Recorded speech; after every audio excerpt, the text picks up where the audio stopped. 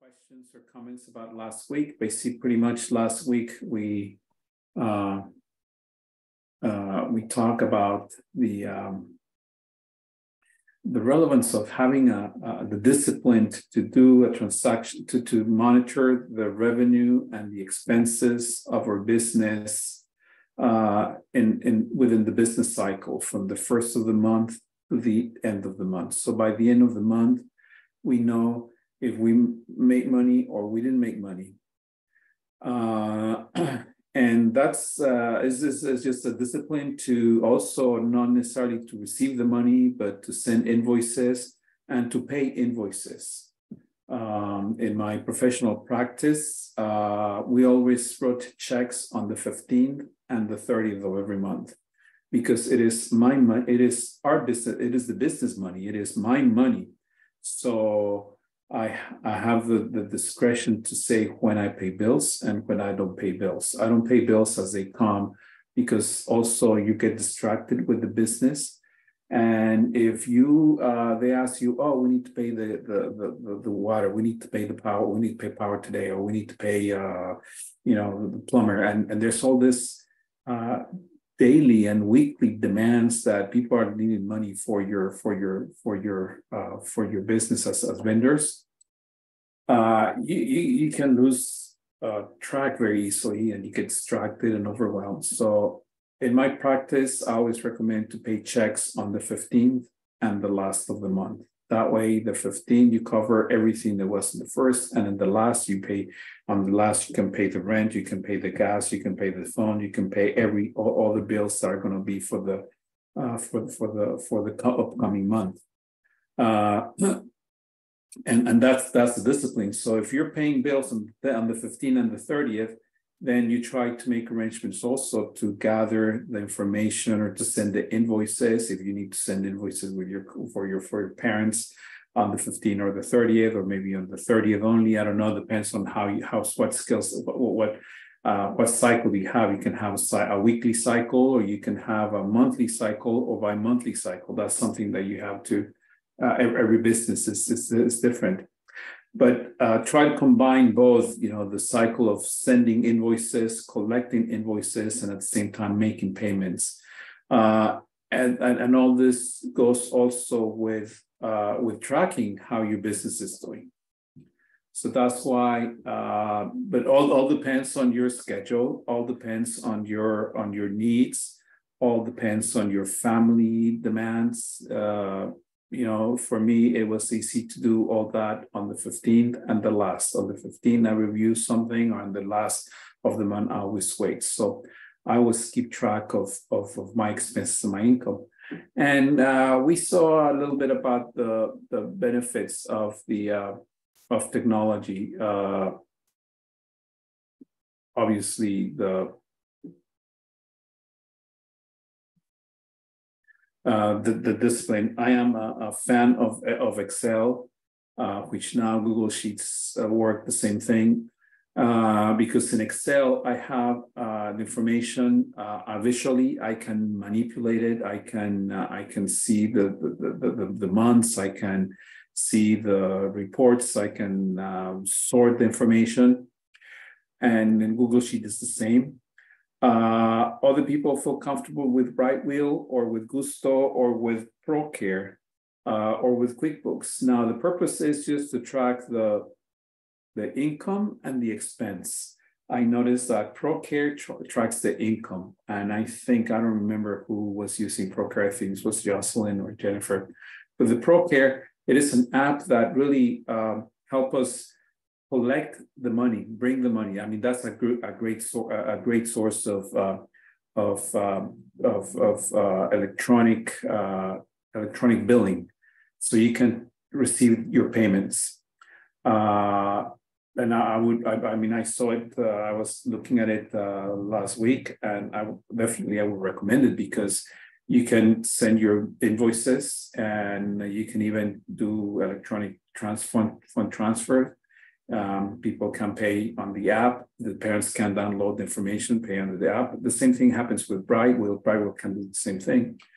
Uh, but the purpose is also to track the expenses, you know, track the expenses. And as I was saying, you know, one is the data sheet and the other one is database. And basically the database, uh, the data sheet, what I like about Excel is I can see the invoice, I can see the information, I can manipulate the information and I can, I mean, uh, because I like, I like Excel, right? But, but many times Excel is the same thing. This data sheet is the same thing as in the, in, in a, in a database. Basically, uh, on the Excel sheet, you see all the information that you're putting in. You can see the dates, you can sort them, you can go back and look for the dates.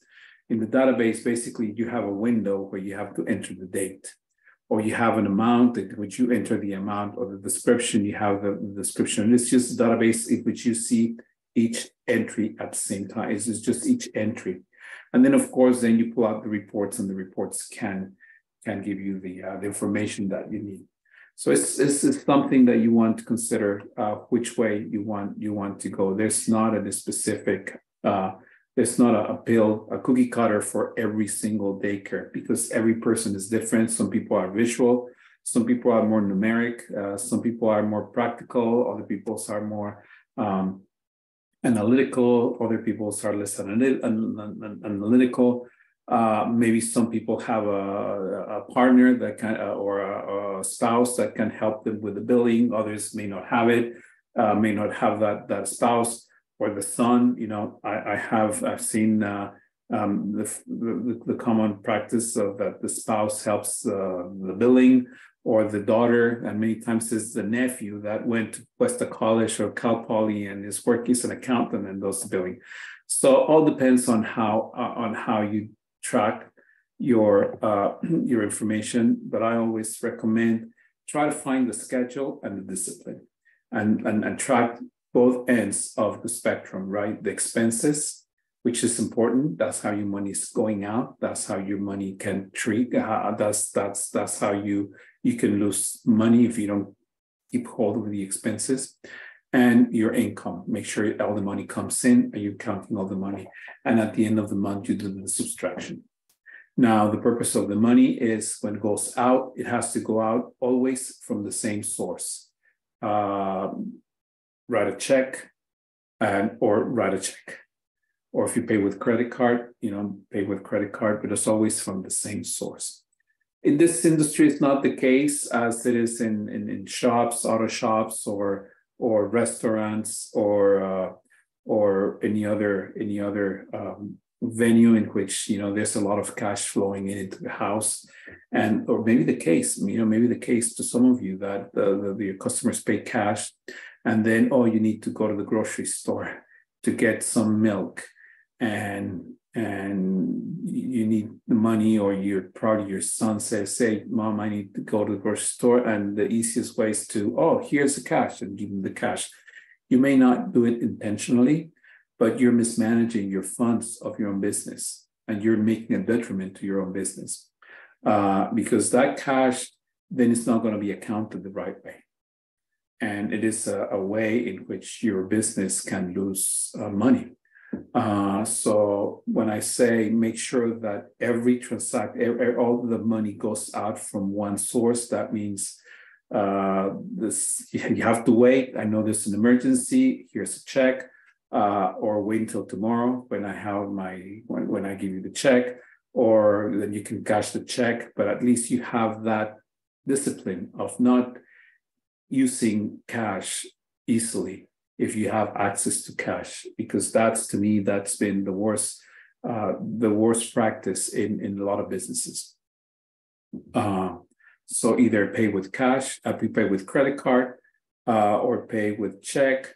Uh, make sure that one day of the month or one or whatever cycle you select, there's always this consistency every second Friday or every first Friday or the 15th and the last of every month to keep track of those of those things. I mean, it's very important, and I I, I really encourage you to to to to, to consider that. Um, if you have any questions, please let me know, uh, or any comments, or any specific any specific um, uh, analysis of things. But I, am sure you're you're, you're very um, based on the on the information that I have uh, that I see on this uh, on you. You already have a system to, to to to work on that. Now, uh, let's talk about uh, a little bit about taxes. Uh, taxes can can be intimidating, but we just need to to understand why, uh, how they work, and obviously, some of you may already have the experience uh, of having audited or may have not been audited, or maybe they have experience because they work, I think, um, um in, in, accounting. But I'm going to try to be as you know informative as possible. Uh, so what's the purpose of taxes? Uh, understanding taxes. Uh, this this I, I don't want to be any no no. I mean the, the reality is that uh, uh, the taxes is, is the mean for our means uh, for government to provide social services or social infrastructure for the well-being of a community. I mean, that's not an, I mean, that's, that's the nature, that's the purpose of taxes. And that's been the, the, the history of society of, of, of, of human, uh, human communities. You know, there is a way in which people have to precisely, they call it tax, uh, uh, the citizens to provide for safety, to provide for roads, to provide for protection, to provide for anything that that that those those when I say social services not necessarily are moral or medical social services, but they're services that provide the well-being of the community. So we have it, uh, I mean, we can see in many, in many multiple ways. So the obligation of a citizen, and I would say the obligation, but the, the part of the citizenship, part of being part of a community, uh, you do it at church, maybe you do it at a club, uh, you do it at, a, a, a, at an association. You know, part of being part of a community is to participate in that well-being of my community. You know, you do the church, you, you do the club, right? You you join a club of whatever, you know, hey, you know, there's some fees, there's some dues. Well, that's that's a tax. And what do they do with those fees and those dues? Well, you know, is to add money for the party or for the sign that is going to be outside for. So that's the principle of taxes. It's just a way in which us as citizens or members of a community participate in the well-being of the community, to share part of our, our of our of, of our wealth, of our capacity, of our gifts, of our, our talents into the community. And at the same time, it's the way in which the means of the government, of the entity, uses that funds to provide services that will re, be, be rein, rein, um, uh, reinvested into the community. And that's where we see the discrepancies of some countries or some communities or some, you know, dramatic places in which, yes, you know, sometimes you don't see your taxes at work or people with the money start using the money for other purposes. And then, then, then we go into this in this section. So basically, uh, uh, you know, those those those taxes, uh, that money, and, and, especially in the in, in, in the U.S., where we where, where do we see them? You know, we see them in roads you know the freeway maybe this is not the best freeway but we can drive to uh, from from here all the way to texas or maybe to to nebraska or even to new york in a in a fairly safe environment uh, through access to roads that are you know well maintained within you know the majority of things as opposed to other countries in which we cannot even go outside maybe 25 miles because then the roads you have you have uh, um, uh, you have issues with your, the road, the road is not finished, the road is in bad conditions. So, whereas when we see them, we see them in, in, in safety. You know, we, we call 911. There's someone with a heart attack, and what do we do? Well, we call 911. Who pays? Well, it's not who pays for those 911, but the taxes are used for that. You know, are used to use for the safety, for for security. And where else can we see the taxes? We see them in, uh, well, in, probably in education. You know, the schools, we take our kids to the elementary school and they have a nice facility. And yes, partly they work with bonds and they work with other things, but most of the funding for schools is, is come from taxes, uh, not, not, only the building, but the education of the, of generations. What else? You know, obviously, when we have incidents of uh, of unemployment. You know, we lost unemployment during the pandemic. You know, there were a lot of people that needed the funds to continue with the uh, with with the livelihood of, of, of one way or another. You know, with, with there's there's stability, there's unemployment, uh, there's the, the, social security, right? People as we get old, we're going to see that about about retirement, right? Those people that put money into their social security that work with W twos or W twos or individuals, independent, you know, they, they, they, that's where they are. So where are the, so the, the, the taxpayer, the citizen is liable, I mean, we're liable through two ways of uh, of that money. How does that money, uh, the money is, the, the, tax now becomes money of the government. So we are liable to bring that money back into the community. And how do we bring that money back is through wages or commercial transactions. It's very simple. It's just the way we can do, uh, at least here in the United States, is through wages and commercial transactions of property, right? So the taxpayer basically has the money that corresponds to the government. So that's why the government is very tricky, depending on the country, right? Depending on the country, of course, but uh, those who have have the opportunity to travel to, I don't know, Morocco, to India, to China, to Australia, to Mexico, to Panama, to Cuba, you know, we can see those discrepancies. But the taxpayer has the money that corresponds to the government. So the government is going to say, okay, I, I'm going to, the government is tracking the, the money that the citizens have. And and, and, the government has gets very serious when we do not pay taxes or when we don't do or do diligence on, on that money. So they can continue giving us what the what, what we need even for for safety or for whatever. So let's see for example, the analysis of the business or the commerce right? When a consumer when the business sells something to the consumer and the consumer buys that tangible purchase, you know, in that transaction of tangibility, we have what is called the sales tax. And the sales tax could be a sales tax that is usually for the state. It's not for federal uh, funds, but it's for the state.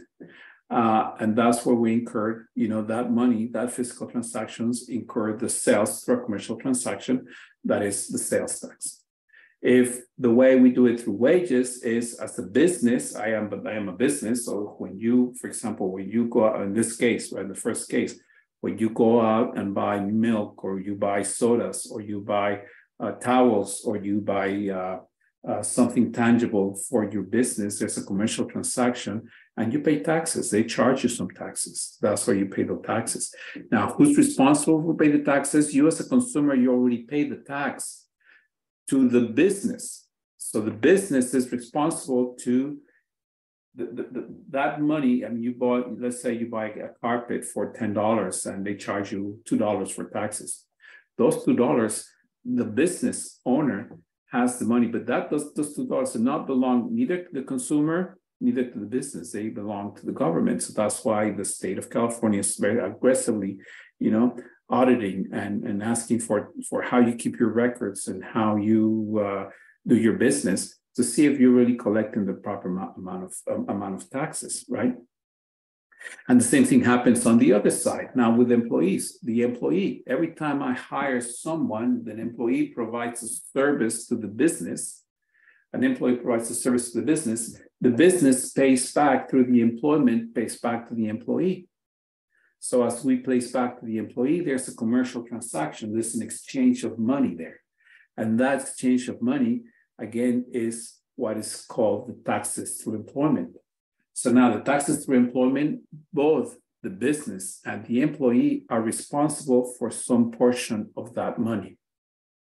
The employee has portion for that money and the employer has portion of that money. This their taxes, we're both taxes as an individual Mm-hmm. And as a business. So when we have employees, we have to pay taxes on both ends. And that's why it is. I mean, it's, it's, it's not. It's not that it, that that that that, that, that it is important, but it's that's why we, we have to understand when we have uh, you know this, the, the rules, the employment law. You know, the employment law. This employee is an employee. It's not a slave. Mm-hmm, because it's a slave, you know, then he will not have access to his taxes. But because he's an employee, he has access to, he has also responsibility to make that, those pay, those taxes, those, those payment of taxes. But this employee cannot be a, that, uh, an independent contractor, right? Because then, then independent contractor, they have to have their own taxes. They also have to have their own taxes, right? But some, sometimes when we try not to pay taxes on our part of the tax of the business, and the employee doesn't want to take the doesn't want to pay the taxes, then it's where we have you know problems with the uh, with with with with uh, with labor law, or problems with the with the with with with other entities that that that, that consider you know that we're not paying taxes, we're evading taxes. You know that's why evasion of taxes is critical here in the U.S. and and, and in many other countries. You know, in other in other countries they don't have. You can see in many other countries, like in maybe in Libya or maybe in Nigeria or in Saudi Arabia or whatever, they may not have this structure and how we can track how the government tracks the taxes you know how and how the how the the the the the, the, the tracking tax. Anyway. So that's basically how how taxes uh, some of the taxes work. So another way that we have the, the the tax as a business as a business as a commerce is what's called the income tax which income tax is what we know you know is my sales what money comes into my business minus my expenses I'm going to have a profit or a loss. If I have a profit, that's why it's called income. I have my income tax. If I have a profit, I have to have a tax on that profit. And if I have a law, uh, if I have a loss, then I so I have uh, I would say a waiver on on those taxes.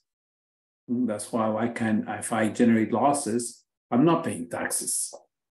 And that's many times how many business people they want to create companies so they can generate losses so they can generate less taxes so for the irs uh, for the internal revenue Ser- service it is important that we never either underestimate our sales because if we underestimate our sales that means that we pay less taxes but at the same time that we don't overestimate our expenses I mean, it has to be within reason. I mean, it has to be fair, it has to be clear that you're not underestimating yourselves and you're not overestimating. So you get penalized for underestimating your sales by not reporting everything that you sell, or by overestimating your expenses by saying that, oh, I used this money for this when it is not necessarily for it was not necessary for your business. And we go, we're going to talk more about this as we uh, as we revisit the forms uh, in the IRS.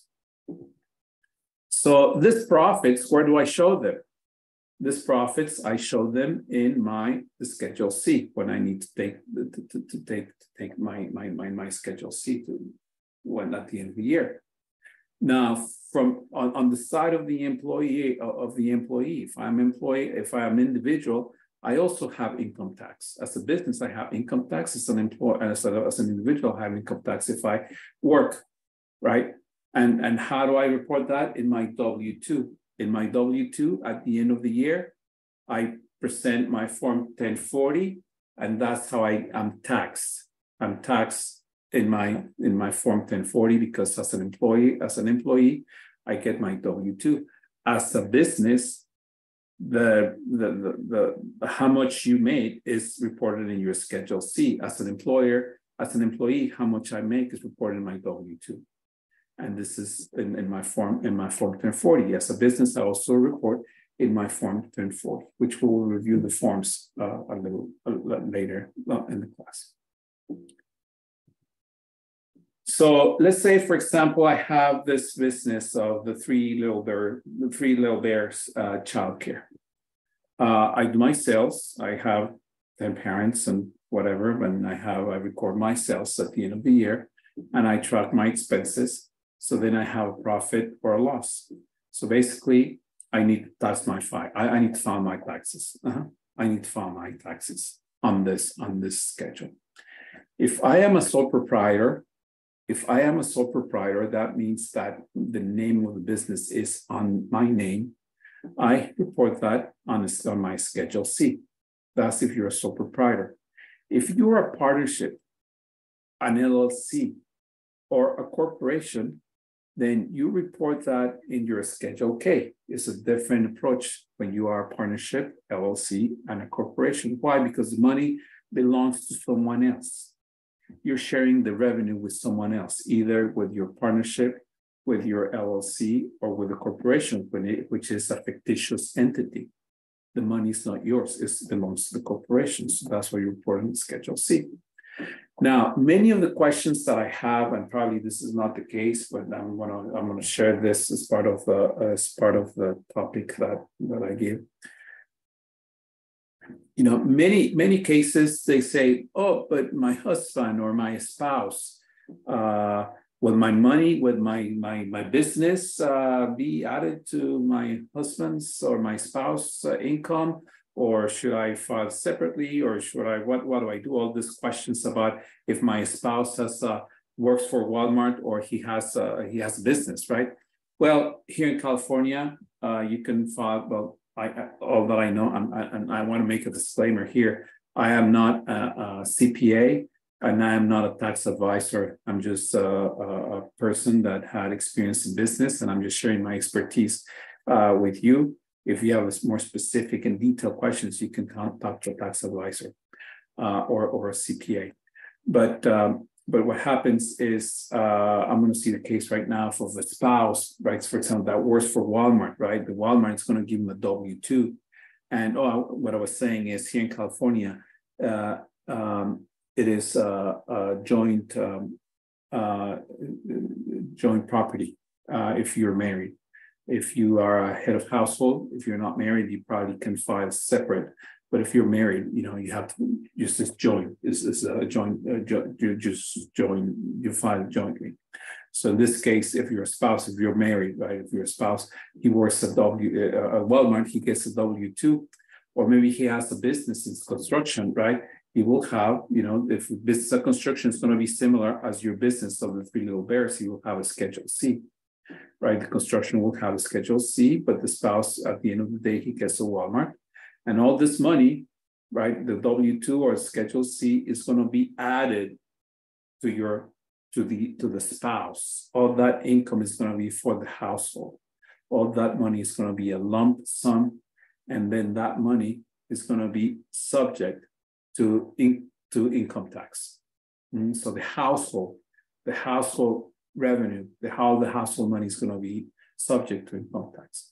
And then, of course, the IRS or the state of California, they have different tables. If you have, depending on the dependents, depending if you own a house, if you don't own a house, if you rent, if you don't rent, you know, they have all these charts and tables that tell you how much tax you are allow. I mean, how what percentage of your of your tax is going is going to be. So obviously, we the Schedule C, uh, all of us, you know, use the Form 1040, 10, 1040 for for for for taxes. Uh, so basically, pretty much that's the that's the, uh, the, the lump sum of what uh, of what taxes are. Now, let me share a little bit of the forms, which I'm sure you uh, most of you are familiar with. Uh, just let me and this are I, I don't know how many of you filed your taxes on your own. Maybe or all of you use someone else to file your taxes or something that oh i don't want to i don't want to deal with it.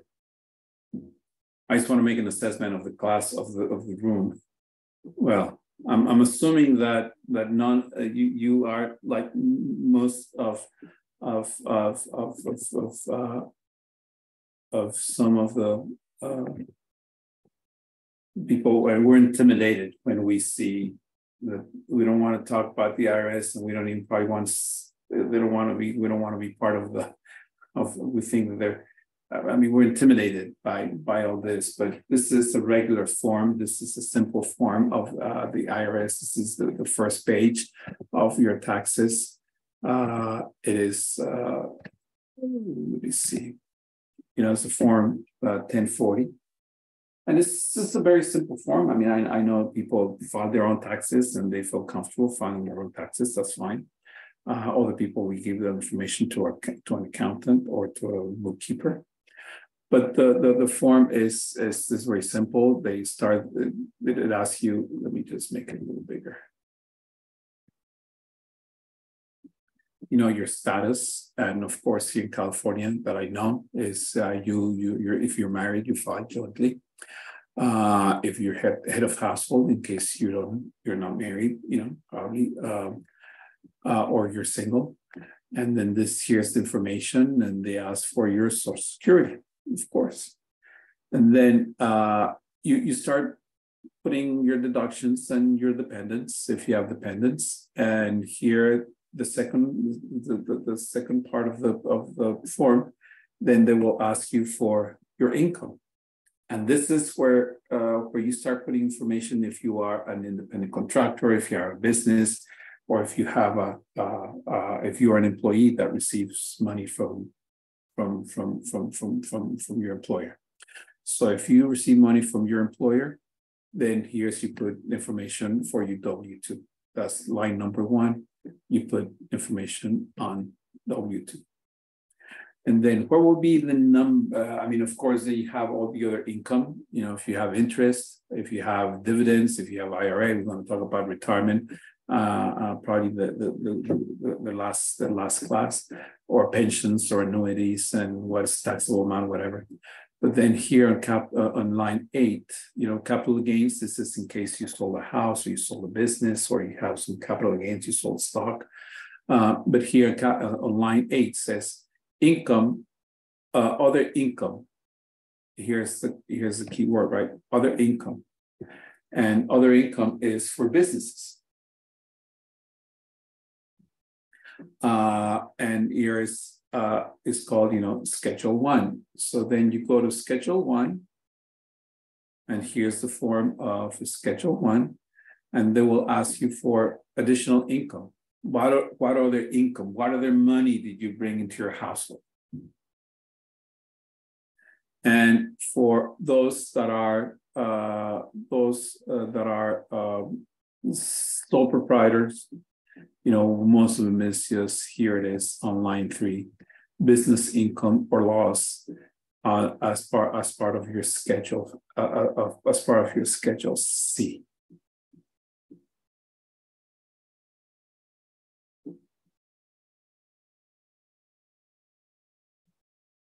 and then of course there are other other sources of income. If you if you got duty duty or if you won prizes and awards or if you won the lotto you know other things. But this is where this is where you put the the, the schedule the schedule c. And now let's go to the schedule c. When we go into schedule c now it says right here on the left page schedule c and that's probably sometimes is like the fifth, fourth page, but you can see it on your on your income tax in your taxes. You know what Schedule C. Schedule C is here is for sole proprietorship. It is the profit and loss, profit and loss for business. So basically, what is this? This is, as I was telling you before, is the record of your sales minus the record of your expenses and you're going to make the, the subtractions. So if you have been doing your monthly uh, analysis of how much you sold the month and how much you spend the month and how much you sold the month, how much you sold the month, every single month, by the end of the year, probably by the month, uh, by the by the by November, you more likely know how much you made for the year. And by December 31st, you are ready to file taxes. Why? Because you're keeping records of everything. And that's what you need to do. And basically, here comes the income. Here's the first back, the first part, income or sales, what I call sales or income. All you need to do is just copy that information that you have from your weekly or your monthly uh, analysis gross receipts. That's where you put. So if you've been tracking them every month by December 31st, all you need to do is just give that information to your accountant, or you need to just get that information. You finish your month of the December 31st. Probably you didn't finish on 31st because it's right, whatever. Because you've been tracking every month, you just you just copy that that that number, and maybe was uh, forty five thousand dollars, right? $45,000. And of course, many times, you know, you may have uh, a different, uh, uh, uh, what's called the cost of uh, the cost of goods sold. Some of you, some of you may have cost of goods sold in the case of what you spend for food. In case you were feeding some, you sometimes you buy you you buy you buy you buy food for your for your lunches so if you bought food, then you probably can put, I don't know, I'm gonna put, you know, five thousand dollars. or probably some of you receive money from the uh, uh, from the state of California because they refund you some of the food at uh, 88 cents, you know, I don't know, 85 cents. So then if you receive that money from the state of California, then you put the money from the state of California that you receive in that money. Basically, this is where you where, where your accountant, or at least you will understand where, where, where to read. So that's your income if you receive any allowances from the state and if you purchase the food. But again, if you're, I'm, I'm telling you, if you're adding your expenses every month, then this this becomes very easy and it's less less intimidating. So then here we go. Here we are on the expenses. On the expenses, uh, the IRS are giving us uh, the IRS giving us what categories are uh, deductible. These are expenses. What is deductible? What can I deduct from my uh, from my income? And that's why I said, you know, everything, anything that related to your business is deductible. Everything that you use for your business is deductible. A trip for to study. I mean, you went to a conference in in, in Hawaii about uh, daycare accounting or daycare uh, practices, most common daycare practices. You can that that's that's the, the business deductible expense. You have to have a meeting with the with with a parent that is enrolling a kid, and you have to meet him at uh, or meet them at the I don't know at, at the Starbucks, you know? and you bought the coffee for the father and the mother. You know that that that's a, that's a meal, that's an expense for your business. So everything is deductible within within the principles of the business. The problem with the IRS, when you get audited by the IRS, the problem is when when these expenses are completely off, right? And you spend, you know, you then then you you bought a uh, you bought a yacht, or you bought a uh, you, you went to Cancun to, to vacation in a yacht. This as well, you know what? I, I, I can first of all, what were you doing in Cancun? And then what a yacht? What does a yacht needs to do with with your with the nature of your business. And that's where where people get get get, get in trouble. So basically, here it is uh, under the categories: advertising, anything that you spend for advertising, social media, the business cards, your flyers, your um, uh, newsletters, if you do newsletters, the sign that you put in front of your of your of your of your daycare, that could be considered advertising. Car and truck expenses. Yes, uh, I mean, if you are using your car uh, within the, uh, let's say you have, a, you're, you're, driving your car to drop some kids or to buy the groceries for the, for the, the supplies for your, for your daycare and you have, uh, it breaks during that trip, you know, you can justify it, you, you can do that commission fees, contract labor. If you receive contract labor, contract labor maybe probably if you want, you can see a plumber, that will be a contract labor. Uh, or if you hire, I mean, we're gonna uh, we can talk about a little bit about contractors. You don't use a lot of contractors because this is daycare, right? But uh, you, uh, but if there's a we can talk about that. You can depreciate depreciation. Uh, depreciation is an expense. And that's, for example, if you, let's say you bought, and, and that's something that, again, you have to talk to your bookkeeper or to your accountant. Uh, some businesses, uh, you can depreciate the expense right away. Uh, other businesses, you cannot, you, it depends on your business, you can depreciate in five years, uh, either a straight line or probably tapered. Uh, depends, right? But let's say, for example, I bought uh, I bought a dishwasher, I bought a refrigerator for the kids, and I bought my all my appliances, right? That's part of my of my depreciation, and I can probably put them as a as a percentage of depreciation. Employee benefit programs, we want to talk about that when we talk about retirement, insurance, other than health. Yes, you pay insurance, probably a thousand dollars, maybe two thousand dollars. That's already a, a line that you can you can you can put interest interest uh, the interest could be uh, in this case obviously uh, you can put on as, as, part of your interest for your um, uh, any any loans that you have, the interest that you pay with the credit cards. You know, you're using your credit card to pay to buy a Costco, and then you maybe have a balance of uh, you know maybe five thousand dollars every.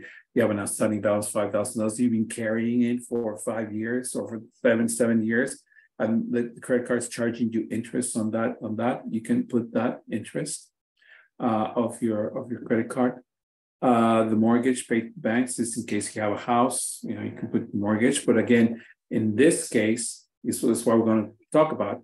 In this case, if I have a mortgage on my house, how come I am going to put my mortgage in my business? I cannot put all my mortgage. No, you cannot put all your mortgage. You're going to put a portion, a percentage of your mortgage into your business expense. Mm-hmm other kind of uh, interest, uh, legal professional fees, office expense. Uh, we're going to talk about office expense, pension, if you have pensions or profit sharing plans. We want to talk about that about when we talk about uh, retirement. Uh, of course, here's the rent or lease. Uh, the rent of lease. I mean, this this section was the interest section of interest on your mortgage but this is the rent of the lease. You have to pay your rent. I mean, how do you pay for your for your house when you own the house? Your business is in your house. How do you pay that section of the rent? Is an expense that you can put on your on your income tax, and this is where we we're going to talk about that a little further other business property in case you have uh, other businesses or machinery. Sometimes some some businesses, some uh, I know some households that they buy their furniture, they rent their furniture. Uh, some people buy their furniture and some people rent their furniture and they go to rent a place or rent a, rent a the place where you, they, they even rent the, the artwork that is in the house. I don't know, depends on how you do your business. Repairs and maintenance. Repairs and maintenance is the repairs of the plumbing, the elect electrical, uh, maintenance. You have to buy the, the laundry soap to wash the, the blankets. Uh, you have to buy uh, now uh, I've heard a lot of stories that with uh, during the pandemic, right? You had to buy, you have to disinfect all the all the toys every every hour, and you have to buy more uh, uh, Clorox or more um, disinfect, uh, you know, to sanitize, uh, to sanitize more wipeouts, more more more whatever Clorox uh, wipes and used to sanitize uh, the place. Well, probably your your your maintenance went went up. The supply is the same thing. You know, some supplies is something that you use uh, within the term of a year uh, or within the term of time that will keep you up. Uh, for example, supplies you buy napkins or towels. And then, of course, tax and licenses, your license, if you have to pay your license. Sometimes, if you have to pay uh, other taxes, uh, in this case, could be the taxes of, uh, of, uh, of, of items that you purchase, right? If you break it down as part of the if you want to break it down as part of the taxes. Travels and meals, we talked about that. You know, you can you can have you can put your travel if you went out to, to travel to see other daycares. Deductions and meals, you can deductions and meals. Utilities, uh, obviously, utilities are the power, the water, sewer. Wages, if you have paid wages, I don't think in this class I don't see a lot of people having employees. And then uh, in case we miss something, you know, in case we miss anything, there's another section that we can go to line 48. Uh-huh. And uh, here it is. You can have other expenses, anything that was not covered in this section of our expenses, I have an opportunity to put them in here. And of course, in here, it could be, oof, I don't know. I mean, not very, not a lot of people use this section, but there may be something, I don't know, you open a, uh, you, you, you have to pay for your website, you know, you did a website uh, and uh, you, you may not, you may not consider this as an advertising, or you may not consider it as professional service. You may be considered as a website development. So you can put here, you know, website development. Uh, or um, or maybe the fees that you pay for an application. You know, you, when you have the when you have uh, uh, pay for QuickBooks or for Brightwheel, you may have to pay fees. Well, I didn't see any somewhere here uh, fees. You know, I didn't see any oh commission and fees. Well, you have to pay the fee. But if you want to put it in fees there, you can put it in here. You put, you know, accounting software fee. So these are more options for you to add other expenses, much other options so you can expand on your expenses. So expenses then will go right here. And then here's the calculation, basically pretty much is uh, your total expenses. Then you add them here, your total expenses. And for there, then you have your net profit and loss. Basically, you subtract line 30 from line 29. Line 30, which is your uh, your or your expenses. Uh, you start line 30 from your line 29, which is all your profit, all your profit, all the money that came in. You subtract all the money that goes out, and this is your profit. So in here, if in this line you put 45 or whatever that amount, that's the one that is going to be shown. I mean, in this one, that's going to be the line that is going to be shown on schedule one here. So if in your schedule C, let's say I'm just I'm, I'm just going to put the number, you know, my total expenses were 40, uh, 40,000. So I made uh, 45 plus five minus five, I did 45, uh, I mean, expense was five. So my profit and loss, my profit was uh, my profit was five thousand dollars. Five thousand dollars. So this five thousand dollars are carried over into my schedule one, and here's going to be five thousand dollars. And then from this schedule one, it's going to be carried over into my 1040, and it's going to be on line eight. Other expenses, other things is going to be my five thousand dollars. So that's how the forms track, uh, the forms connect to each other. So, but we're, we're not done with the Schedule C yet. You know, we're not done with Schedule C. There's another section in here that uh, it is interesting to review is the cost of goods sold. The cost of goods sold is for something that you sell with which you collect taxes, or that is to bring the service, uh, something tangible that you sold. Many times this is the food that you collect for, that you buy for the students and you charge for that food in your in your in your enrollment uh, because you give them sandwiches, right? You give them sandwiches for lunch, and that food you prepare that food. You can collect taxes on that food if you want, or you can, or, or if not, at least you can put the cost of goods sold. Basically, you put the number, the the uh, the, the the food for for restaurants or for uh, or for grocery stores or for shops or for anything that sells something tangible. It is very helpful. I don't see that uh, you may have much in this part because your sales, your food is part of the service and you're not collecting tax on the service. But if you need to put it as a cost of goods sold, you know, you can put it, but it will be probably uh, more on, on your on your supplies or on your, uh, or probably in this other section that says other expense. That's something you can ask and you can discuss with your with your accountant.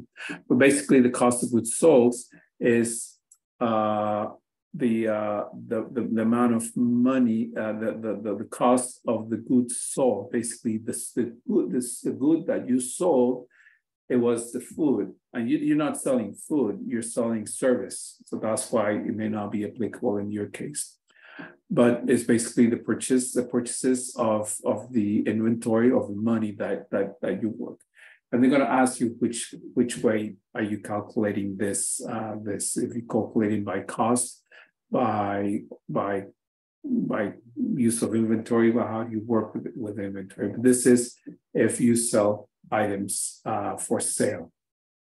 Um, and then uh, obviously there's a section for your uh, for your vehicle. uh, we're going to talk about that. In the section of your vehicle, you have also, depending on the on on the way you you you you you file your taxes, you have a lump sum that you can that is the maximum that the IRS gives you, or you can apply the miles use, and and then you can you can use the the, the, the miles that you use for business, uh, for commuting, uh, for other, and we want to talk about that how you can track your miles. So basically, these are the uh, the these are the forms for the uh, for taxes. Uh, very simple. They're not complex. They're not intimidating if you're familiar with it. But the key is when you track. I mean, obviously, people that are using ProCare or people that are used to track the the income. You know, we sometimes many times we think about this. Oh, it just this is just the income but no, we have to track also the expenses. And the expenses, the IRS is already giving us what is what we need to track. So you can use this as a reference. And everything that you, uh remember I was telling you at the beginning, you need to track the receipts and you need to know what are the receipts for. And that's why I was I was telling you uh, when we're working with Excel uh, to track. Uh, let me see if I have it here.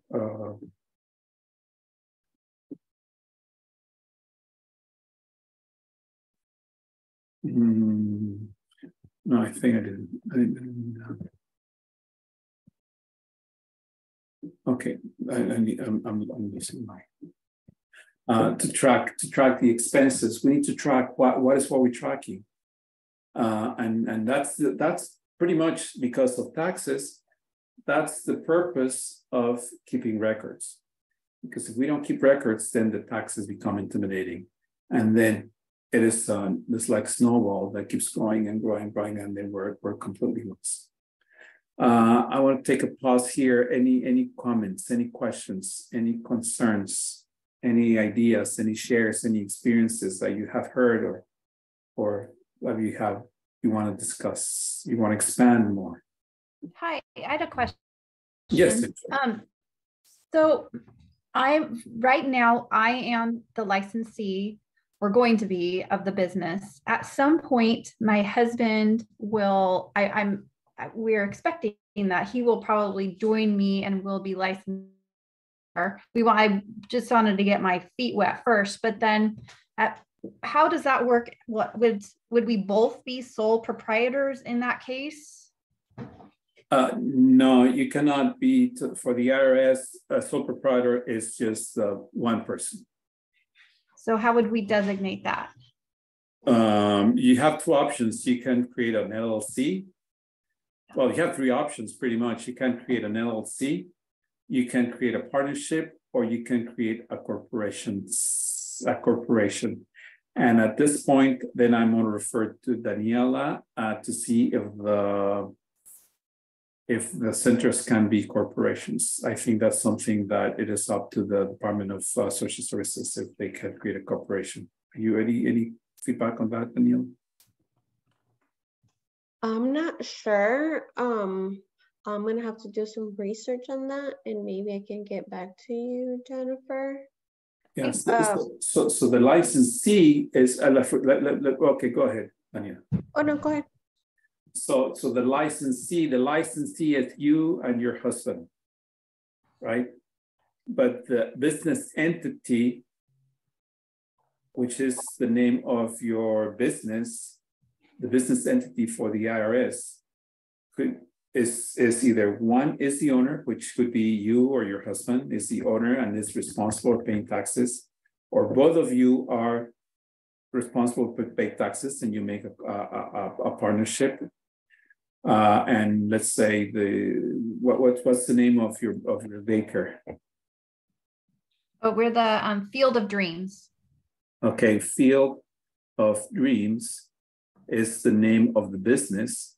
So Field of Dreams could be the name of the corporation or it could be the name of the partnership. So the partnership is called um, uh, field of dreams or the partnership. Well, I'm, I'm not trying to make.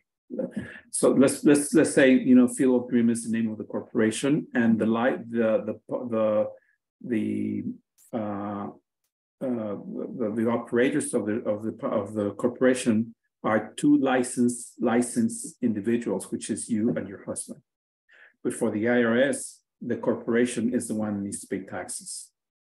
If you make a partnership and the name of the partnership is Field of Dreams, it's the same thing. The partners are licensed and they are the ones who are uh, have the authority to do the license. And for tax purposes, is the partnership who is responsible for pay taxes. Does it make any sense of what I'm saying? For example, uh, let's say uh, you uh, what what time what time uh, where's your where's your business, uh, Jennifer? Sorry, it's in San Luis. Okay, it's in San Luis. Let's say yeah, you go to. Uh, uh, uh, let's let's let's put the case of the of the Madonna, right? If the Madonna is a sole proprietor, only one person, only one person is responsible to the IRS. The IRS is not going to go anywhere else. It's just going to be to one person who is the sole proprietor, mm-hmm. and it's going to be Mr. Madonna. But probably the Madonna, they say, you know what? I don't want to be a sole proprietor. I want to create a corporation. So then the Madonna has is becomes a corporation. And as a corporation, then the IRS is not going to go for Mr. Madonna or it's going to go for anybody else. It's going to go for the corporation that is named maybe someone else, but somewhere else, but it's a, it's corporation of Madonna. Or maybe they create a partnership. You don't know if they're the, the, the, the Madonna has, has two partners. But for the IRS, the purpose of the IRS is going to go to the uh, go after the uh, the fiscal entity, and there there are many options to be a fiscal entity. Sole proprietor, which is only one person, it's only one person, they're not two, it's only one, is the owner. Two people or more, which is a partnership, can be the owners of the business. Uh, then there's a combination of this with the LLC or with a corporation. I don't know if I made it clear, but Yes, you did. Thank you so much. Okay. I, I got another question that I'd like to piggyback on that. So um, expenses and everything, say your mortgage as a sole proprietor or actually as an LLC or corporation, you have, you've made your business that, but it's still in your home, your home base, because if I understand correctly, the license is issued to the person in a particular home, like your home. So you make it an LLC, you um, expand or whatever it is that you need, um, does the mortgage and everything and the expenses related to the home still remain the same? Or are you basically putting yourself into a contract where saying, oh, you know, I live here, but I'm gonna expense out like, oh, here's the rent that's, you know, due. Like, how does that dynamic change, you know, as far as expenses and write-offs and, you know, it's still your home type of thing? What happens to the home, I guess? Okay. Sorry, that was a little convoluted. Yes, let me see. I probably need to bring another another slide here that may be helpful for you. And it's not part, I mean, I can um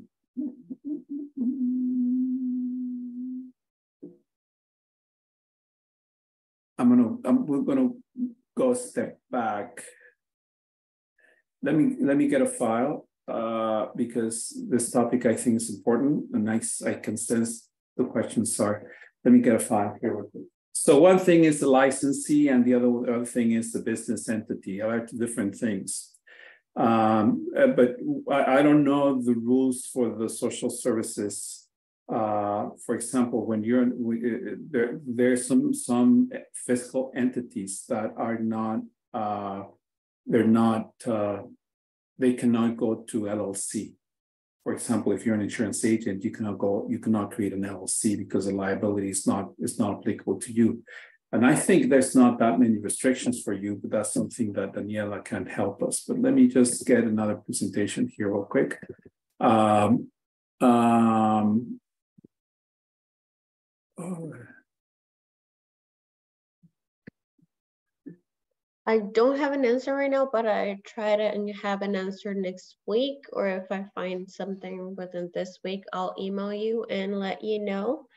Um, the only thing that I do know is most some of the providers that I've been working with, they only focus on like if the husband works with uh, with you, they treat it as an employee, and that way you can reduce more things on your taxes.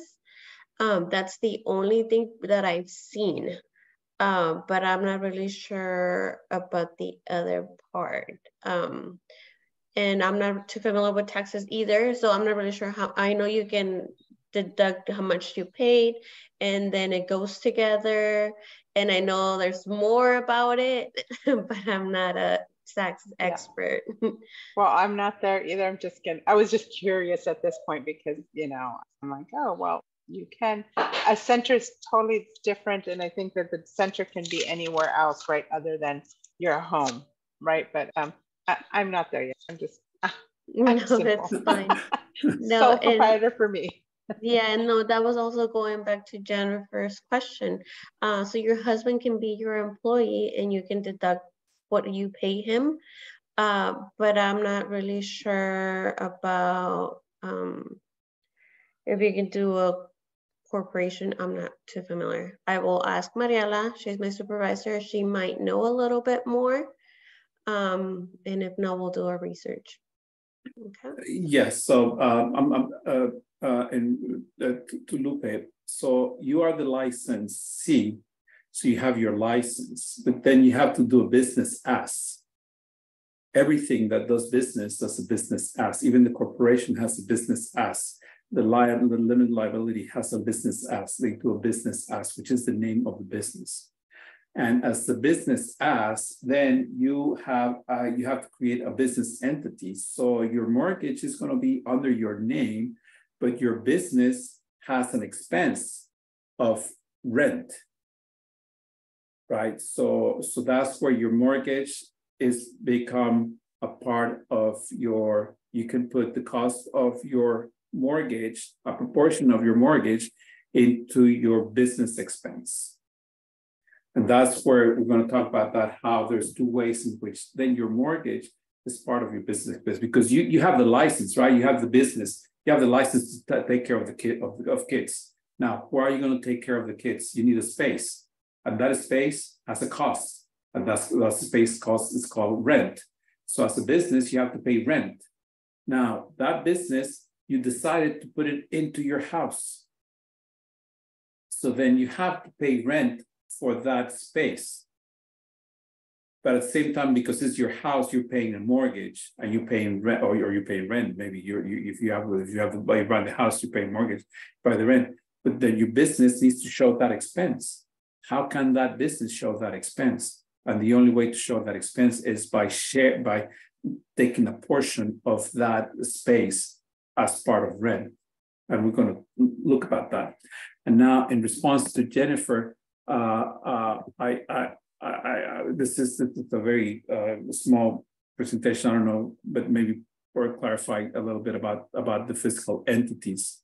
So when you're a sole proprietor, and, and let's say your name is Jose Luis Jimenez, you that means that you are 100% owner.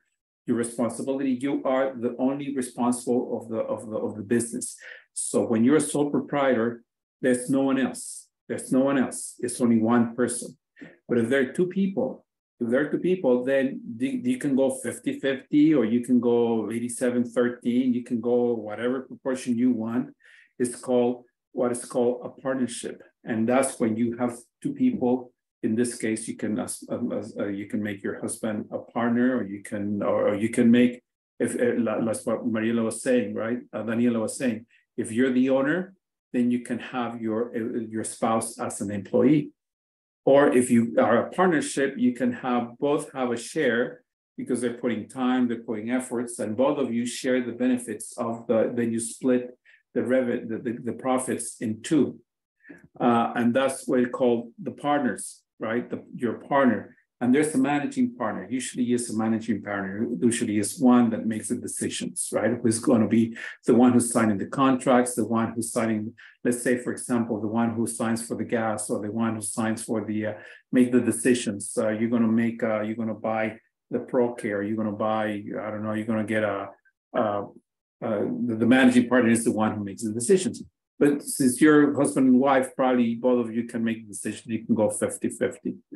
Uh, and then uh, when you create a, a, corporation, when you create a corporation, you create a, a fictitious a fictitious entity, which is not a person. It's not a physical person like you, like me, that has bones and bones and and and and, and voice. You know, it's just a fictitious person that it is managed or it is administered by people, by real people, which are a president, a treasurer, and a secretary. Those are the three minimum um, members of a corporation. And they, this is what is called the board of directors, right? The board of directors, uh, and it could be five, four, six, as many as you as, as you need. And you have to have a, a resident agent, which is someone totally different from the corporation that registers this corporation to the Secretary of State. And that's why uh, and the same thing with LLC corporations. LLC or corporations are uh, are a hybrid of of partnerships and, and and and corporations, right? So you have you have to register those in the state of California, and you have to pay a tax every two years, or have to pay a tax every every year uh, uh, when when when you do your when do you do your your registration. But now this is how it works, right? This is the fiscal entity. This is the fiscal the fiscal entity. Uh, sole proprietor, partnership, sole proprietor, partnership, corporation, or LLC, which you report you recorded to the Secretary of State. And then there's another thing as doing business as. The doing business as is how this person, how you are going to do business.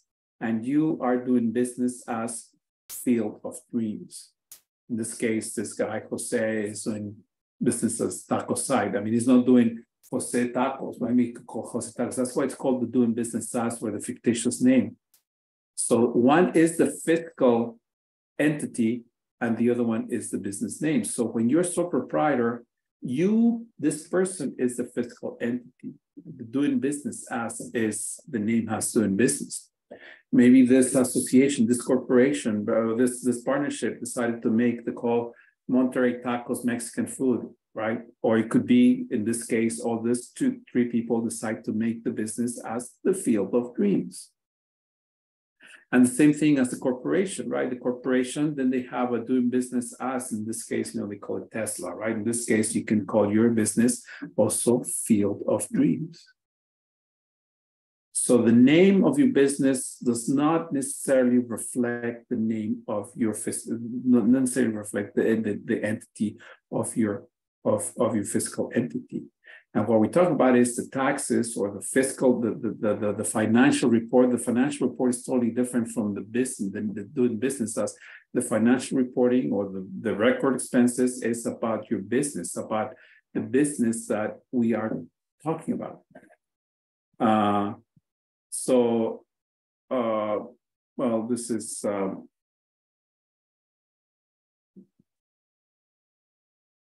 mm, these are some advantages, right? You always in your business, you also have lawsuits, you have creditors, you have licenses, you have gains, you have losses, you have capital, you have capitalization, you have all those things in the business. When you are a, a corporation C, the corporation really protects as a corporation all these losses, creditors, licenses, because you create a fictitious entity all this belong to the corporation. So the owners of the corporation are in a certain way immune. They're not uh, directly impacted into this. When you are a sole proprietor, when you're a sole proprietor, you're the only person that is responsible for lawsuits, the only person that is responsible for creditors, the only person that is responsible for licenses. If you make money, all are yours. If you make losses, all are yours. If you need bring capital, you need all, everything is yours. So you are the, you're not you're indirect indirect uh, uh, you're the, the buck stops on you when you're a sole proprietor. It's just one person. When you're a corporation, the, everything stops at the corporation. So there's like a barrier that protects you. Uh, and you can create an S corporation. There's some tax, uh, there's, there's, you can create an S corporation. But now again, I don't know if um, I mean, you're going to be the licensee. You're going to be this person has a license, and this person has a license. They are the license for, for your business.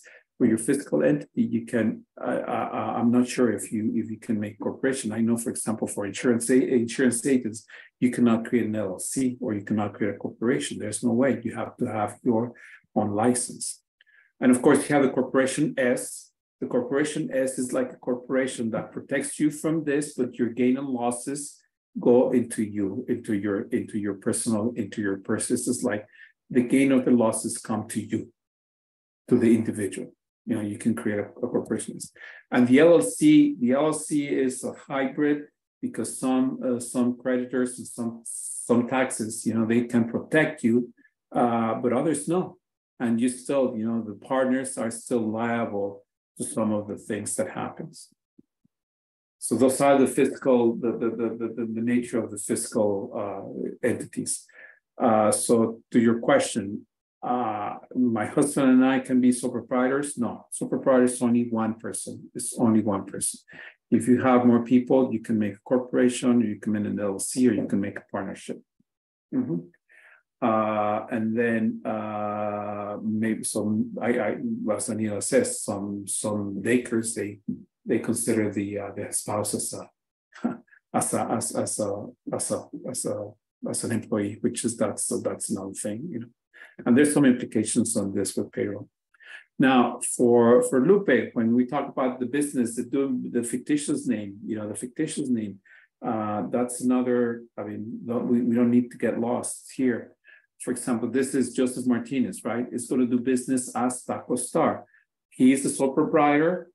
He's a sole proprietor, but his business, the name of the business is Taco Star. And the business, Taco Star, is going to have uh, income and expenses. That's part of the Schedule C, right? That's the Taco Star. He needs to know if selling many tacos and expending many, many, many, many expenses, if he's making money right? Jose Martinez needs to know if his business is doing is, is, is doing business, right? He's making money. And that's why it's important of their, their, record keeping. So the fiscal is, let's say, you know, uh, then he joins with uh, Emily Smith and they want to make, uh, uh, they create a, a, a, partnership and the partnership is called Solar Bakery. But Solar Bakery, how do they want to make how do they want to know this partnership, this two partnership, they come up with a name, right? I'm going to call Solar Bake or our business Solar Bakery. But how, how are we going to, people, how are going to know about my business? They can create a DBA or a fictitious name, a Susie's Cafe. That's what I was telling you about Madonna, right? The Madonna, this is just Madonna, it's Madonna, or maybe he has partners and we don't know what, what the name of the partnership is called, but they keep doing the business as Madonna right? The name of your partnership is totally different as you're doing business as.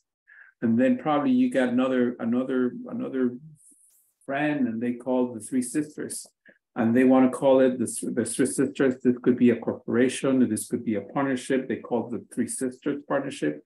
But how they want to know this business to be known for consumer or for the doing business as they want to call it, I don't know, Hotel Santa Clara. Hotel Santa Clara, it's that's that's the, the doing business. So the doing business, like full full of dreams in this a field of dreams, field of dreams could be could be uh you're doing business as in all these three. You can be a sole proprietor, a partnership, or a corporation.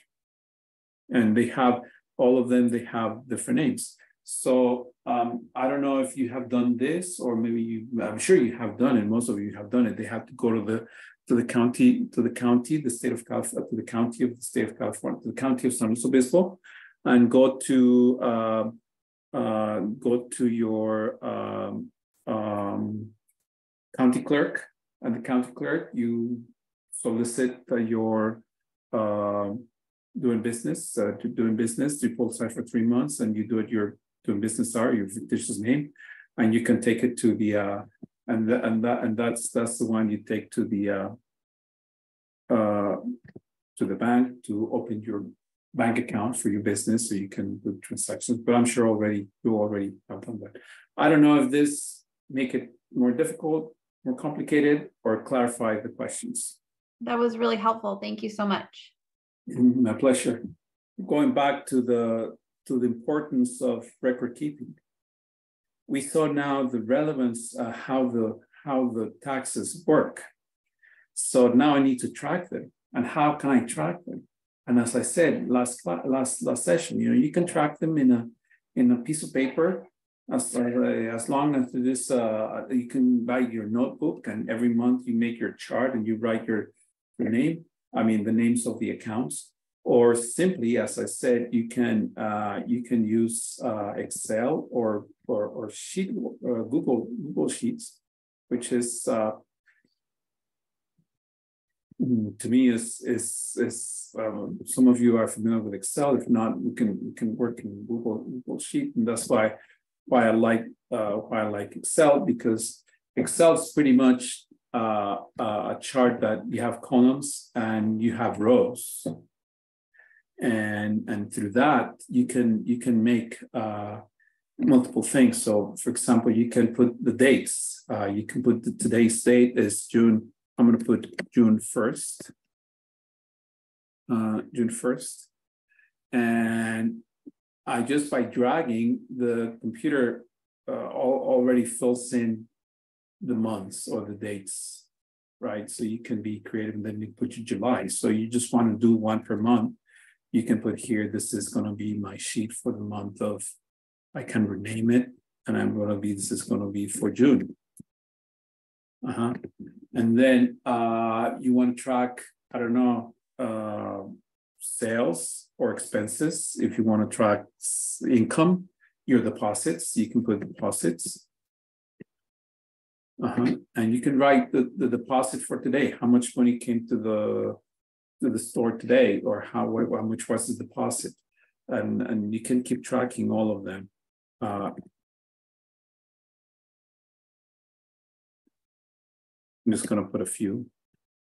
So at, at the bottom, you can just click a formula and just a very simple formula. And, and, and, and, and Daniela, Daniela can help you with Excel. She's very, she's an expert.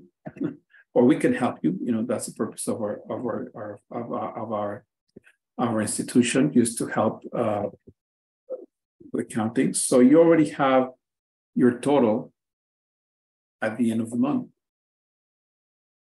And all you need to do is just add the next day or today. You just add uh, how much it was, and you can see that the formula changes and keeps adding as uh, as you you have, and there's your these are your deposits. And if you want to be more creative, maybe you probably can put the, the line of deposits and you can put, I don't know, I'm just going to create some, uh, and that's why I like Excel because it gives me the, the, the ability to do it as I, as I need. For example, deposit, I can put the name of the, of the family. Uh, the family, when they pay, um, well, this is going to be I'm going to put fam. If this is family one, I don't know, family two. You can uh, create your your clients, right? Right. Or by students, you only have 14 students, right? So, or you could put, you can track here who pay you. Maybe this family one pay you today uh, 350. Then family two didn't pay anything, but they pay also 450, and this one paid 300. I mean, I'm not, I'm, I'm not sure. And then, then June didn't pay anything. And then on June, this paid 450. They didn't pay. This one paid five, uh, uh, 765. I don't know. You can track your sales as it happens through the month. And all you can do is just keep adding your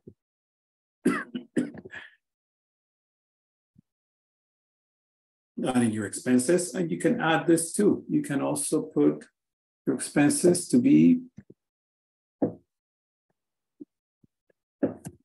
and this is your total for the entire month.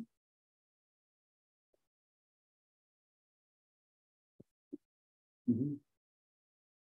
And and once you create your template, you go every Friday and you look at what day of the week they paid. And okay, this family paid me the 560. Uh, on the 8th, uh, this one paid 450. and this one paid 354. Mhm. And as you see, every month, at the end of the month, you will have your totals of income. And, and that's what I like about Excel is that you can see, you can go back and see, okay, well, oh, this family didn't pay enough. And you can also know which how much each family is paying you. And remember, I don't know if I told you that the purpose of the business of tracking records is something that I can make decisions based based on making decisions. And let's say, for example, everything goes fine, and at the end of the um,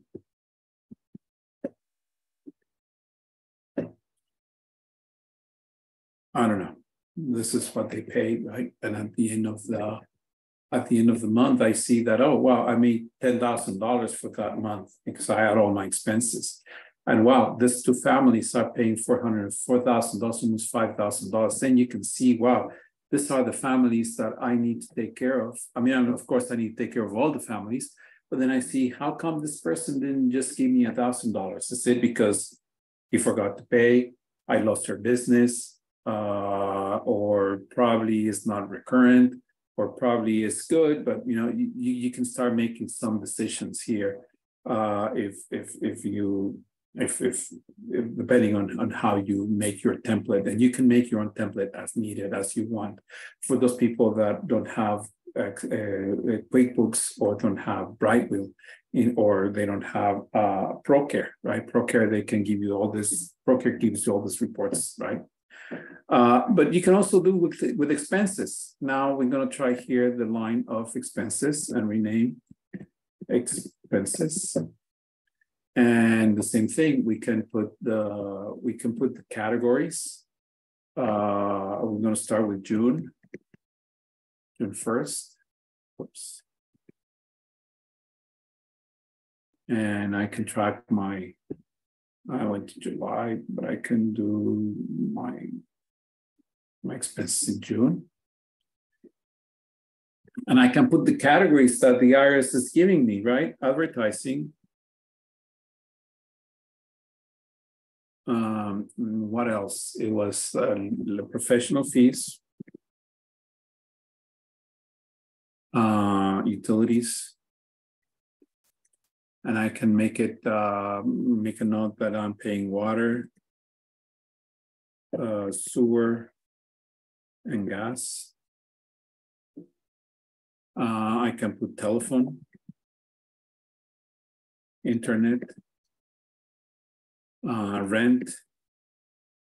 Um, what else? Um, food.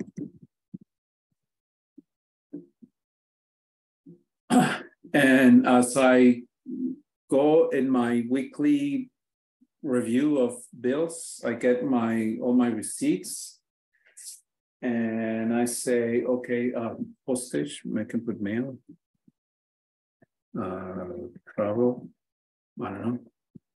Uh, and I can put my receipts. Okay, now advertising today, I pay fifteen dollars. Uh, professional fee, nothing. On utilities, I pay them on the pen.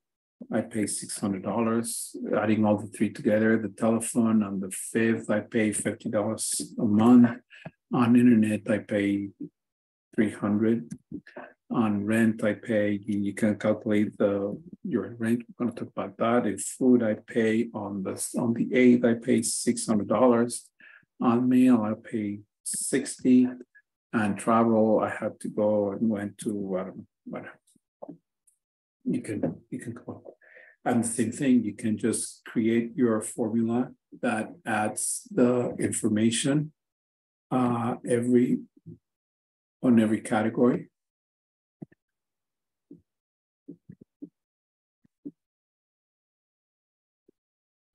and you can decorate it. You can put colors if you want. Um, and then I can see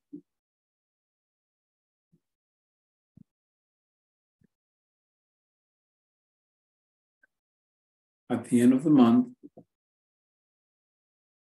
how much I'm making or losing, how much I'm how much I'm, I'm spending and it is a very to me mm-hmm. Uh, and then the next week I sit and I see, okay, how much I pay for advertising? No, I have to pay 50, I pay for, for Facebook, uh, professional fees. So I pay a thousand dollars for my accountant, uh, water supplies, uh, water, I didn't pay a telephone, nothing, internet rent, nothing, food. I had to go and buy another, another 600, $650 in food in mail, I pay another hundred dollars because I need to send a billing or I need to send a flyer for my for my enrollment and in travel. And at the same at the same time, you can put here the total of your expenses just by putting a formula. And these are your expenses.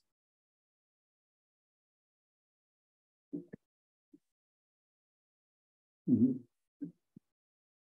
So then uh, for June, I made my revenue was 10,000.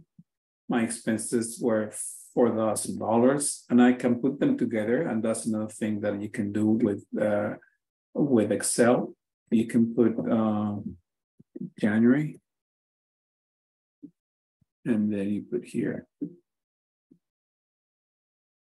December and in here are my sales. And then here I put my expenses. And here I can put my income. And you just create a formula, which is going to be my sales minus my expenses. And you copy this formula along way. And then here's the total for the year.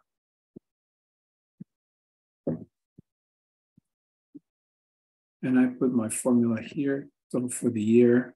Oops.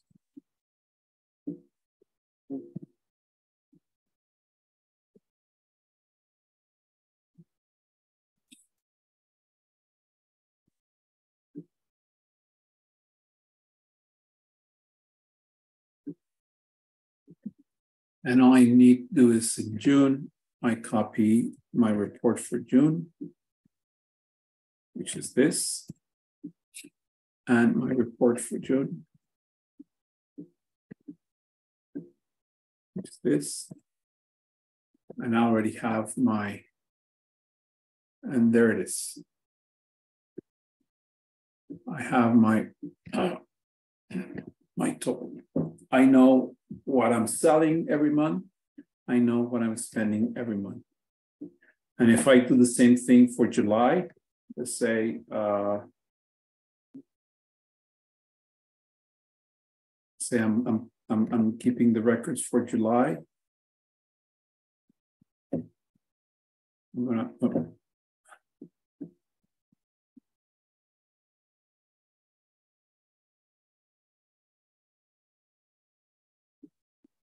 and let's, I'm gonna put more, uh,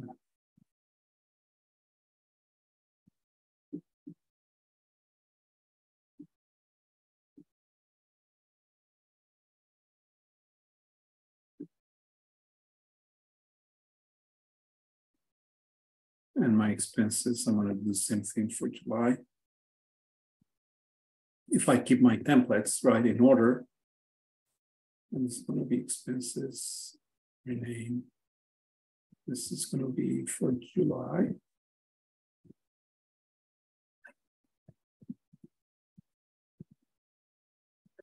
And I'm just going to put here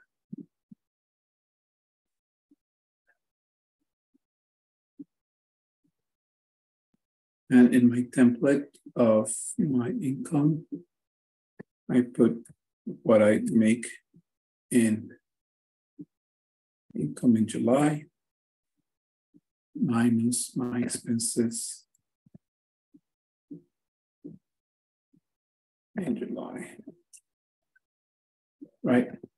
So and that's that's what I that's what I like about about Excel. I'm in control of the program. If you feel comfortable, if not, you can just use QuickBooks or any other application. But that's the purpose. If I'm keeping my records, I know that by the end of July, I, because I'm keeping every single day how much I'm making. I will know, I mean, let's say, um, this is, this is, uh, let's say we're at the end of July. And at the end of the month, this person gives me another five hundred dollars, right? So now, well, I'm gonna put ten, I'm gonna put two thousand dollars worth, you know, so say something. Now my revenue went to fourteen thousand dollars. Because all the sheets are connected in my income expense, they're already here, the fourteen thousand in July. Now I made fourteen thousand two hundred ninety in my income statement. I have hundred ninety. I already know that I made three thousand dollars in the month of July, and I just finished the month of July.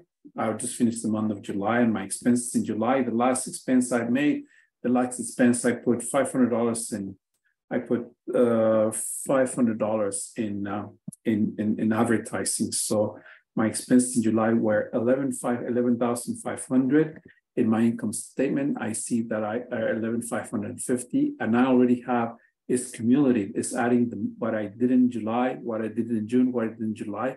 Guess how? What guess what? what guess what happens? You know, in August, then I will know how much exactly how I'm making. By December, I already know how much I'm going to make for the year.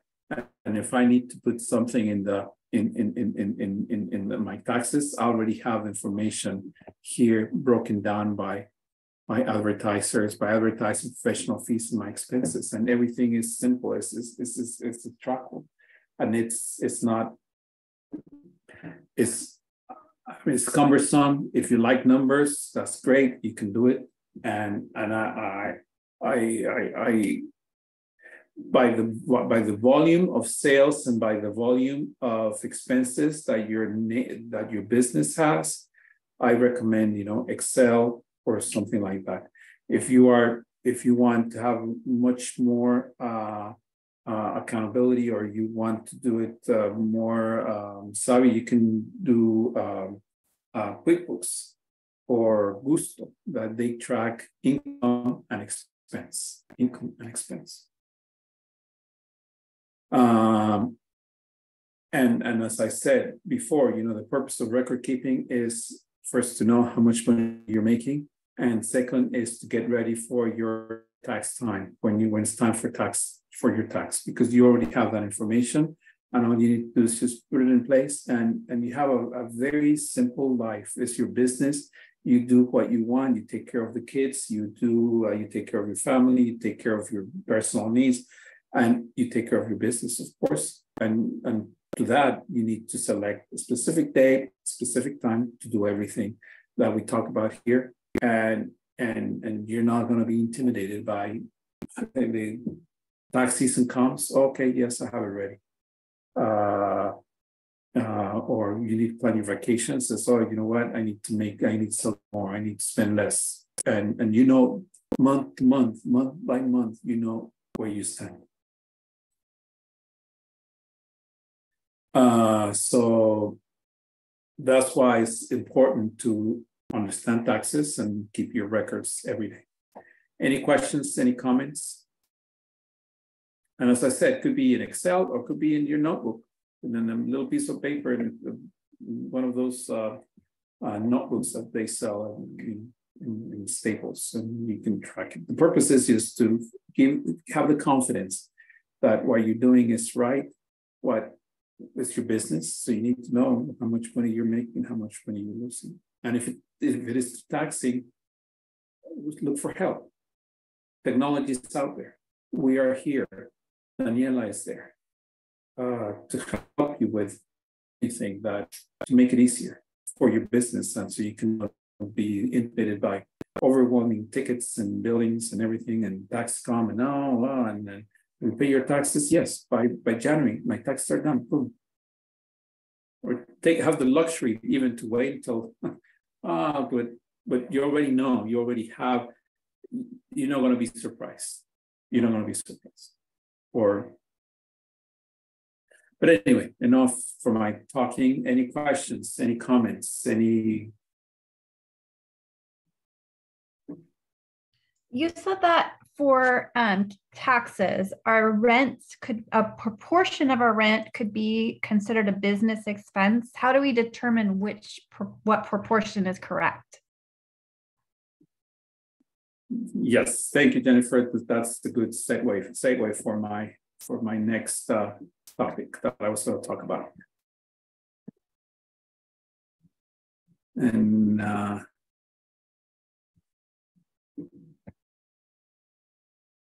okay, perfect. There's another question in the chat, which is the same question. Uh, and thank you for the for the question because that gives me the opportunity to share that with you. So uh, there, uh, the IRS has two ways to to calculate the deduction of your child care costs. One is the space, and the other one is by time. Uh, the most common one is the space. If and and both both both are correct. Uh, they recommend to keep track of both because in case you're audited and your audit the auditor wants to challenge you because the space is not the right or the time is not the right, it can go either way. Uh-huh. But uh, as long as you have one, is it, it, it, one well calculated and you can prove it, you're fine. Uh, the space is the exclusive use of the space for your daycare. The exclusive use of the space for your daycare. So basically, you calculate the square footage of your house, the total square footage of your house. And to that, you calculate the area that is used for exclusive use of your daycare. The area that is used for exclusive use daycare. It can be a room, you know, if we have a room that is only exclusively used for your daycare. Uh, uh, you have the storage, you, you're storing something in your garage, and you have a cabinet that it is a specific exclusive use for your daycare. Uh, you can have a bin, uh, a crib, or chairs in your hallway. You can calculate the space that those cribs measured uh, maybe they're not in the maybe they're not in let's say in the living room right you have your living room and in your living room uh, sometimes you put kids on the on the crib but you cannot move the crib every day right you just leave the crib there or or the chair or you have a, a bin with toys in the middle of your living in your middle of your living room and and it's part of the now becomes part of the decoration of your living room right? You calculate the space that that crib is using, the space that chair is using, and you add them all. The playground, anything, all the square footage that you have for your daycare, uh, you you you all. So then your space that that you use for exclusive use, you're gonna divide it by the total space of your house, and you're going to get a percentage. And that's the percentage that you can use from your rent. So you rent three thousand, your rent is three thousand dollars. You multiply that by this percentage, by this percentage, and you can only that's the amount of rent that you can put as the cost of your business for your day. Uh-huh. So you calculate your square footage, you know what the square footage of your home is, and then you add every single room, storage, crib, furniture, space, you know, the, the calculation of the space that you use exclusive, exclusively for that.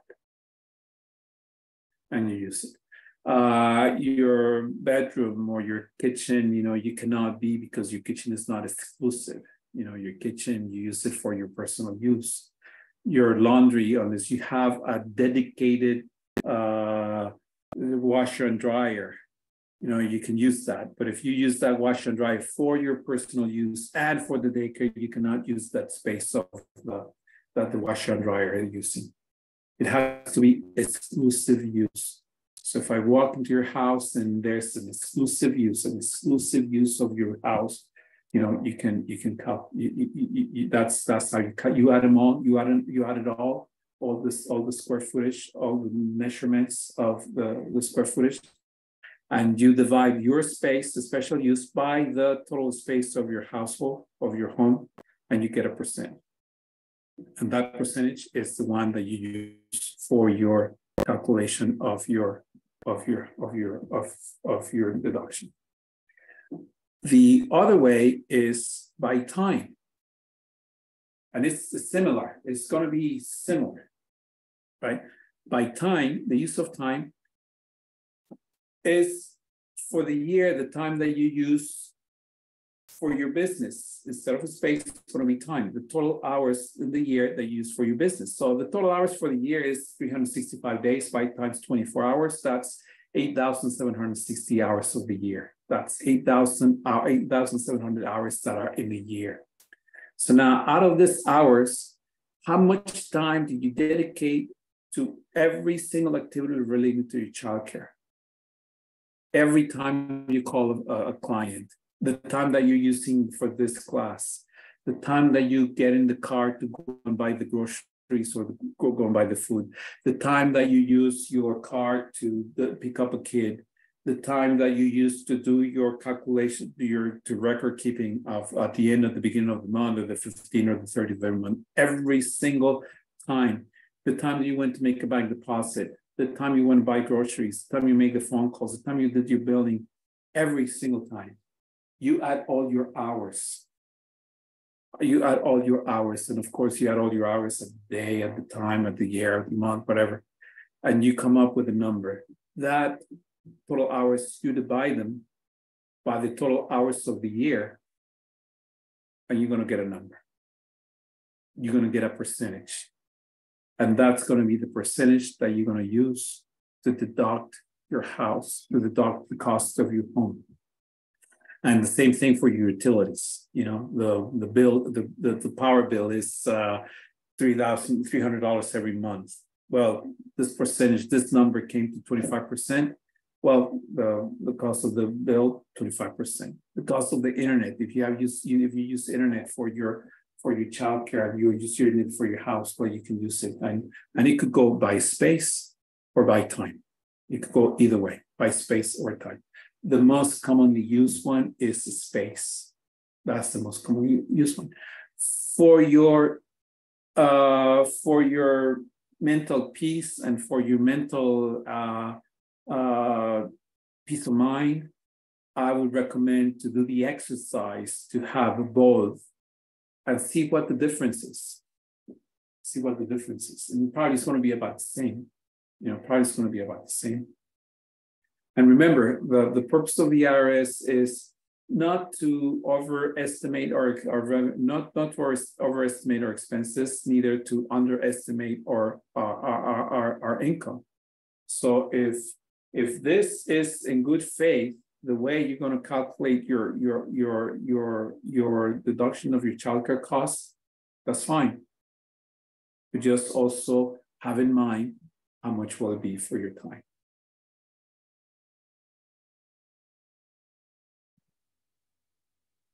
Um, does it does it make sense? Is it clear? Do you need to an example? Can I ask um, a question real fast? Excuse me? Can I ask a question real fast? Yes, yes, yes. Thank you. Um, so if I'm the sole proprietor, but my husband is in the business with me, and when we file, we file jointly, would his would we add up the time we both spent on the business? Oh, that's a good question.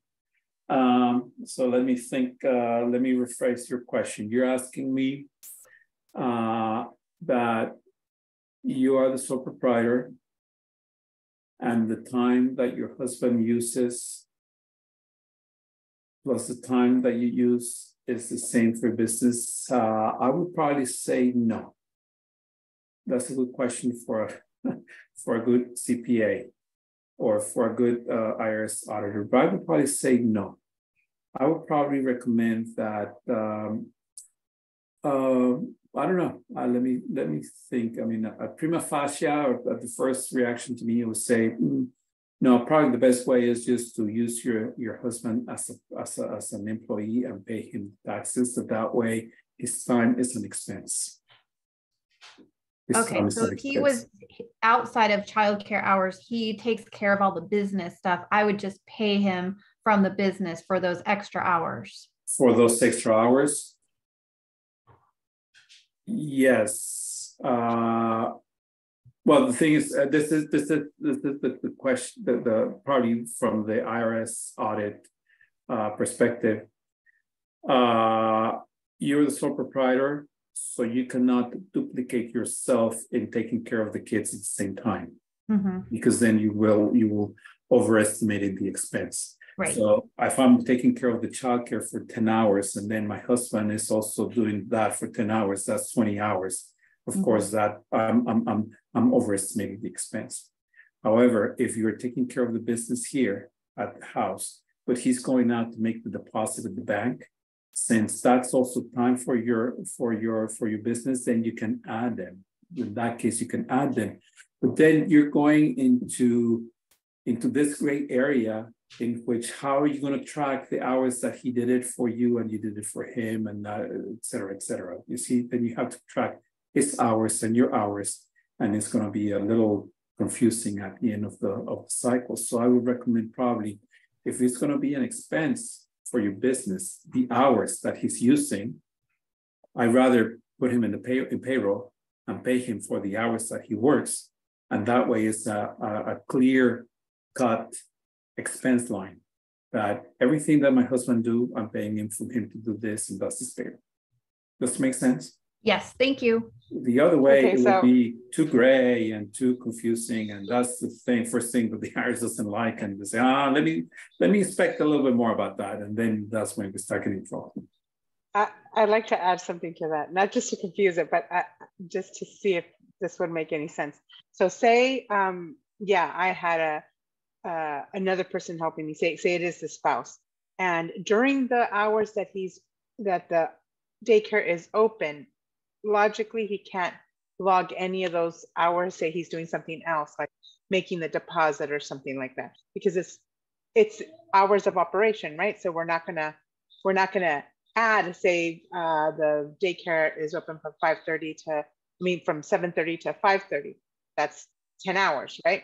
Um, at six o'clock, he spends uh, thirty minutes to go make a deposit. But it wasn't me, it was him, but it's for the business, right? You can't you add those two hours to your working hours? I could say that I did it, right? You know what I mean? It's like it's not, I'm not piggybacking, you know, I'm not saying that I'm not adding them. He didn't go during the hours of operation. He went after the hours of operation. So you can tack those 30 minutes on there where you were 30 minutes. You know what I'm saying? It's like you wouldn't Yes, yes, want to yes. double it up while you were uh, during the hours that you were working. You don't want to add those hours into that. But if it's legit and it's after those hours, then that that would work, right? Yeah, that, I mean, that- but you're right. But just very great. It gets gray very easily. Yes, that, that, that would work, but then uh, as a, as an auditor of the IRS, it says, okay, sh- how can you show me that, that, that took place? And another thing that I want to add is also that's why it's so really important that you keep track of your mileage. If you are going to be using, that's another way of um, deducting that from your taxes as well. Keep track of all your mi- miles that you drive. If you go to the grocery store, if you go to the bank to make a deposit, if you go pick up uh, children from from school, um, I mean, your husband will be helping you um, but you can't count the hours because yes, like as Lupa mentioned, it's hours of operation already, but you're also using the miles for your business. So that's that's another way. Thank you, Daniela. Yeah, I was just putting as, as in my husband is not part of the business, but you know, it got me thinking, oh, okay, well then, yeah, you're right. So just post, thank you for that. Mhm. Yes, I mean, it's, they're good questions, they're good questions, but to me, uh, the. The easiest way is just to make sure that it's clear to me, and if it's clear to me and it is within the guidelines, as long as I'm not. Adding more hours than what really are happening. But it's just, it's better to have a clear, clear cut, you know, I'd rather pay you for what you do, and it's gonna be an expense anyway, you know? it's going to be an expense of my of my of my business. So I'm going to write off this time instead of uh, and it's clear because then there's a time there's a timesheet, there's a signature, there's a time does the time he does. It's going to be part of my time. Um, that would be uh, that's what I would recommend. But uh, if you want to explore more, you can contact with, with your tax advisor. okay, and and then uh, to, to wrap it up, yes, uh, your car, your car expense. That was my next. Uh, that's my my next uh, element of of deduction. it's the use of your vehicle. The use of your vehicle, the ones used for your groceries, the one to go to the bank, the one to rise and what I recommend is uh, you can go to this app, which is Mile IQ. Uh, probably some of you already have it. Maybe you have other kind of application to do that. Uh, this is a, a, very interesting app because it tracks your, uh, this is GPS, it tracks your cell phone as long as you have your cell phone with you. You get in your car, you turn it on, and you start driving. Uh, by the time you stop the car, uh, it tells you how many miles did you drive. And if you flip it to the right, it goes to your business, if it was business. And if you flip it to the left, it was your personal use. And that's how clear it is. As I was telling you, the uh, with the with the IRS, uh, the, the clearer the things, the, the, the, better chances you have to survive uh, an, an audit. Uh, but when you start getting all complex and uh, it's, it's, it's, it's, tricky because that, that's what they're looking for, you know that you're not underestimating or overestimating either either instances. This this one is also clear clear cut. You know, you just drive, you get in your car, you drive. It's business to the right, is uh, the, to the left, and you can write notes and. And at the end of the month, it gives you how many, how much miles, how many, how many, how many miles you drive. And if you remember in my in, in, in the, the forms of the IRS, there was one section for mileage and you can deduct this. This is an expense also that you can deduct. And this one is not by percentage of space use, it is just by miles, by miles use. You know, this is this is just a way. Uh, but that that that you that you can that you can that you can use. So with that, I think let me see what else. No, that's it. So with that, we have six minutes for questions, questions and answers, comments, uh, other topics that you would like to learn about.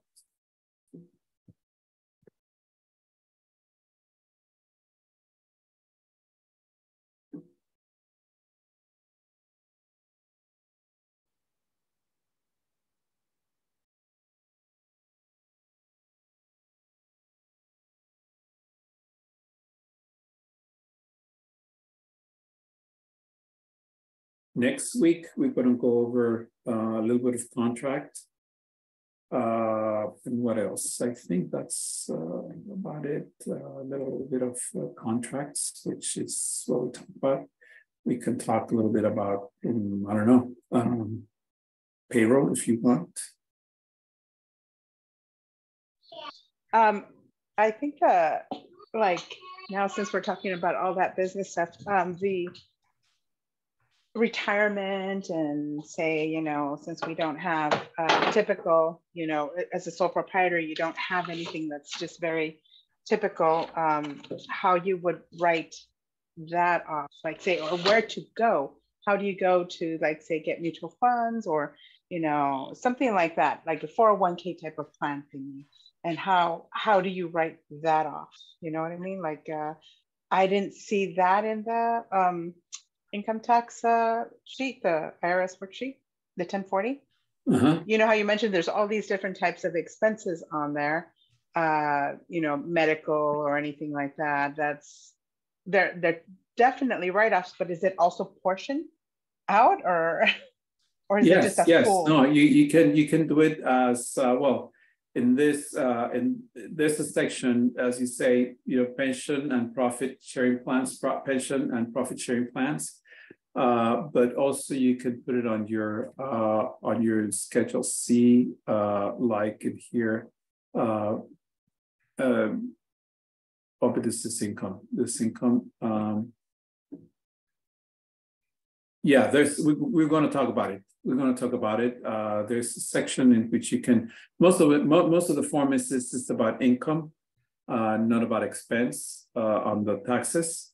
But uh, we will talk about that in retirement. There's uh, qualified and non-qualified uh, plans for retirement. And qualified is something that you pay before taxes, and non-qualified is that you pay after taxes. And probably for you, I mean, we're going to talk about that the last the last class. Thank you. And, and, and another instruments that we have for retirement.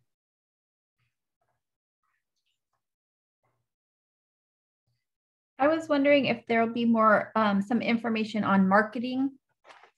Okay, yeah, yeah, oh, yes, yes, we're gonna talk about uh client retention too. Thank you, thank you for reminding me. That, that's gonna be next week. Client retention contracts and uh, what kind of marketing do you want? Do you want to talk about Excel, I mean, uh, Instagram, uh, Facebook, uh, internet websites?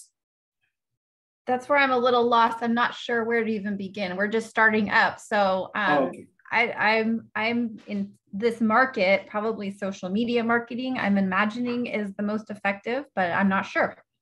Okay, yes, okay, perfect. We'll, we'll talk about that. We'll, we'll, we'll, we'll- we'll come up with something to, to, to give you some insight on, on how to market your business Thank you. next week. And then just one request, if I can just have you turn on your camera for a brief second and it's just for attendance. Uh, this is something that we do in all classes at the beginning and at the end of the class, so I just want to make sure that you guys are there. No, I'm just kidding. Thank you for joining us. Uh, we'll see you guys next week. If anything comes up, any questions, you guys can email me, email Gabe, and then um, hi. um, yeah, if anything comes up, please feel free to call, email, and I will see you guys next week if there's no other questions. Thank you. Thank you, Gabe. No, thank you. Good night. See you next week. Thank safe. you. Bye.